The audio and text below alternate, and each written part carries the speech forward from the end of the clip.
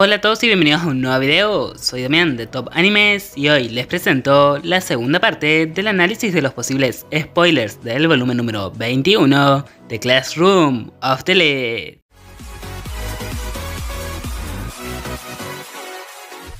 El día de ayer subí un video contándoles varios de los posibles spoilers del volumen número 10 del segundo año. Esos rumores que corren por el fandom antes de la traducción de cada nuevo volumen de la novela y que a veces son verdad y otras son mentira, pero que siempre son muy interesantes y entretenidos. Pero ayer me centré en la clase de Sakayanagi y dejé fuera muchos otros posibles spoilers que son justamente los que hoy me gustaría mostrarles. Así que para no hablar demasiado, ahora sí, sin más que decir, comencemos de una vez.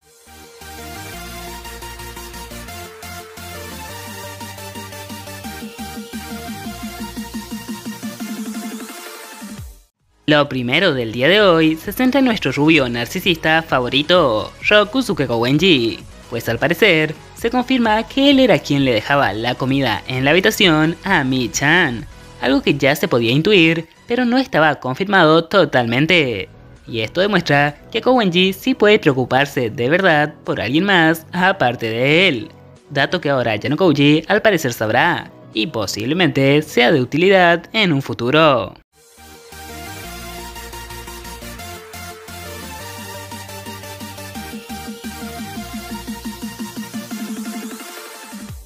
El segundo supuesto spoiler nos mueve de la clase B a la A, ya que se centra en Morishitai y cómo esta habla con Kei y Ayano Kouji, haciendo que se plantee por qué Karuizawa eligió a Kiyotaka como su pareja cuando antes salía con Hirata.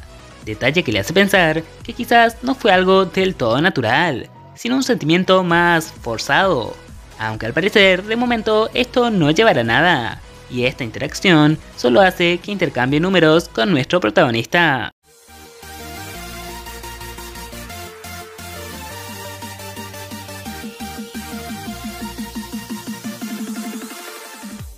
Ya que antes hablamos de nuestro protagonista, ¿por qué no seguir por la misma línea y hablar de su encuentro con Susune? Pues al parecer, Horikita logrará que Ayano Kouji sonría por primera vez de manera natural, no como otras ocasiones en las que solo fingía o se esforzaba, algo que según Ayano Kouji se siente como una gota de color en un boceto blanco, haciendo que se pregunte por qué sonrió con Horikita y no en cambio con otras personas cercanas como Kei o Hirata. Y cambiando un poco de tema, pero siguiendo con algo relacionado a Susune, hay un curioso detalle que técnicamente también es un spoiler, aunque no sea la gran cosa. Y es que ella dará un discurso alentando a su clase para ganar. Pero lo interesante es que según la traducción, ella dice que se convertirán en una clase de élite. Un interesante detalle que hace alusión al nombre de la serie.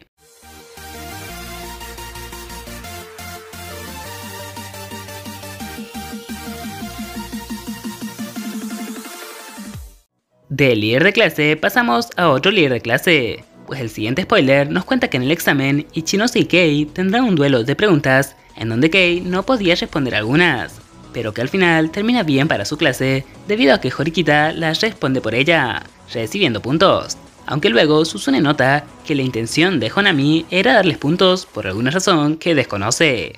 Algo que me agrada, pues demuestra que definitivamente el volumen tendrá las tan ansiadas batallas psicológicas y el hecho de tener que descubrir las intenciones de los demás que tanto me gusta en esta novela.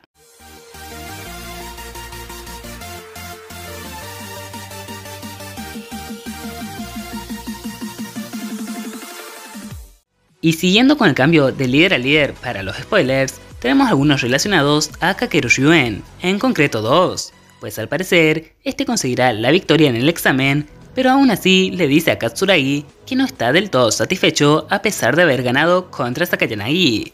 Y esto tal vez sea porque siente más emoción en poder derrotarlo a él. Y por las dudas aclaro, no se estaría refiriendo directamente a su interlocutor Katsuragi, sino que se referiría a Kiyotaka. Y si bien esa puede ser la razón principal, también imagino que el problema está en que dudo que el examen haya sido una batalla interesante, pues Hashimoto y otros alumnos de la clase A le vendieron información a Yuen para que éste los derrote y gane el examen. Así Hashimoto le podría hacer entender a Sakayanagi que su clase está volviéndose débil, algo que si vieron mi video anterior ya sabrán que no terminó muy bien.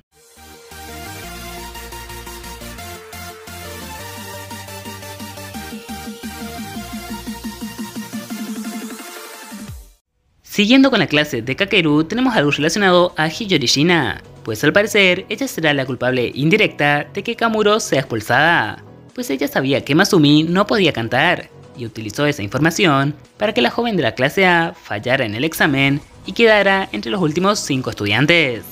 Pero si no se esperaban un ataque así de Hiyori, lo que sigue lo sorprenderá aún más, pues ella aparentemente tendrá un monólogo mental en donde piensa que Ryuen es necesario para llegar a la clase A, pero que no sabe si luego de conseguirlo, Kakeru solo estorbaría.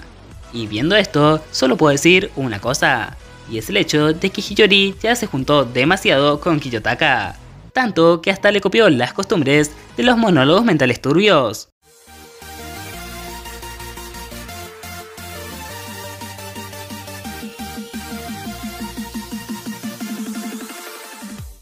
Y para finalizar, tenemos justamente lo que parece ser el final del volumen, que no podía ser nada más ni nada menos que uno de los ya típicos monólogos mentales. Este no de Hiyori, sino del propio Yanokouji, que dice lo siguiente. Solo quedan dos meses para el examen de fin de año. Lo que estoy preparando para Kei, Ichinose... No, mejor dicho, toda la clase. No me queda mucho tiempo. Actuaré para convertirme en alguien que sea recordado por la gente que me rodea. A decir verdad, estos spoilers no me parecen tan interesantes como los que vimos ayer, pero todos en su conjunto creo que harán de este uno de los mejores volúmenes. Bueno por sí mismo, pero que además ayudará a crear aún más una expectativa y ambiente espectacular para el examen de fin de año. El examen por el que nos quieren meter hype desde hace tantos volúmenes. Pero habiendo dicho esto, ahora sí, sin más que decir, hasta el próximo video.